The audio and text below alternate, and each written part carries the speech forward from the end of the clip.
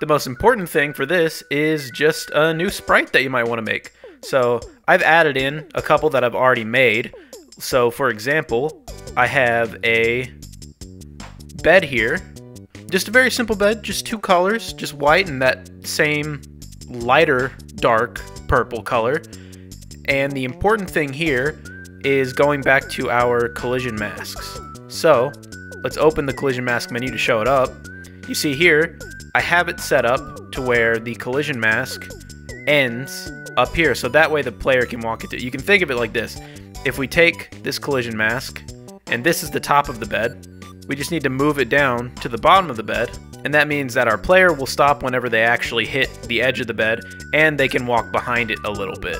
So just make anything you want to. Again, you can copy this if you want, and if you want to make like a, a TV or the coat rack. I don't know why I, am thinking of coat rack, rack so much. But the point being, we're done now with this. So let's exit out, and we are going to make a new object. So let's right click, or just right click here, create object, wherever that is.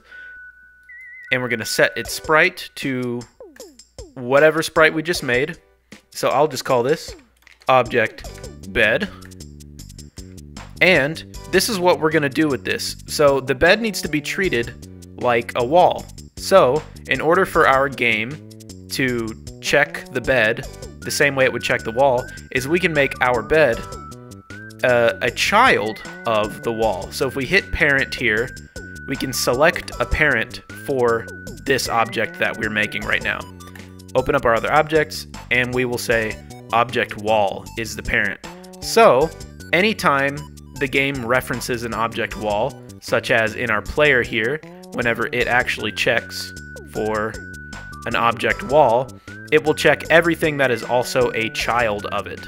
Pay no mind to all of these not being colored anymore. I, I, I don't even know why this is happening. So, now that we know how parents and children work in terms of Game Maker, this will work out totally perfectly. So if we go back to our room, I'm going to close our bed sprite here. We can go back to our room, back into our instances, and let's put our bed, I suppose, I chose a dumb object to use, so let's just put our bed right in the center of this living room. Okay, so I've run my game. And you can see that we can run into the bed, all that stuff.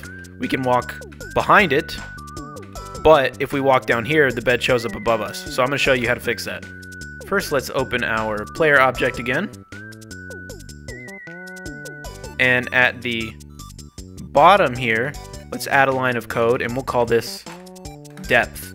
And all this code is going to be is depth equals negative B box, B bop, B box bottom. So B box bottom, this would be bounding box, which is your collision mask. The, the bottom of your collision mask would be bounding box bottom. So we're taking whatever that value is, which will change as you move up and down, and we are making it negative. The reason we do this is in Game Maker, depth determines what order things are drawn. So what is drawn on top of what else? And it's ordered to where the lower the number, the more on top it is drawn of other things. So it basically means if we are going down on the screen, our Y value, and therefore our bounding box bottom value, because as our Y value moves, our collision mask moves, which is the bounding box. As that number increases, if we make it negative, then we're going lower and lower in terms of depth. So any object that we want to have depth, we can add this code to as long as we make sure our collision masks are fine. Now in the player, we're doing this in the step event because the player's y coordinate can change. The player can move up and down, so therefore this, this value will constantly be changing.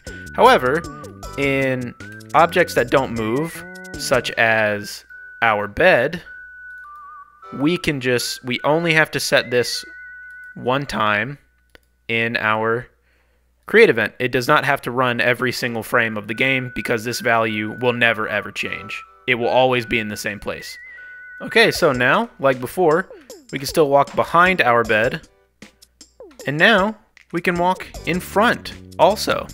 There's a ton of different ways to do this kind of like depth sorting, and this is just by far the easiest way to do it, so that's why we do it this way. So really quick, here's another little sprite that I have. This is just a, a big dresser, and this is a cool little trick that you can do. So you can see both of these two frames uh, are different, but what I've done is I have set the animation speed of this to zero. So if you were to play this animation, it doesn't change whatever frame is on. So really quick, let's make this an object and I'll show you something. I'm gonna make object dresser, set my sprite, remember to set our wall object as the parent, go into our create event so we can set its depth.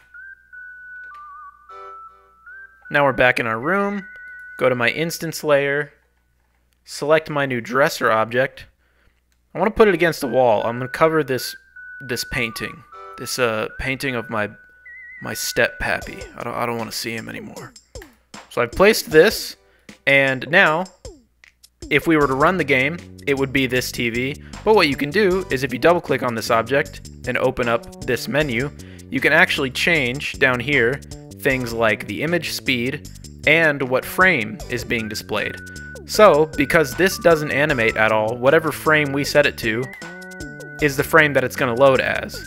So, I could have this be the dresser or this one. And this way you're not making a bunch of different sprite assets and you don't have to make a bunch of different objects and all that stuff. You can just do it with one if you know it's going to have the same little collision mask right here. So pretty cool. Alright, I livened the place up a little bit. I made one more little drawer thing and I scooted things around. The feng shui is pretty good here. I think I could call this place home if it had a bedroom.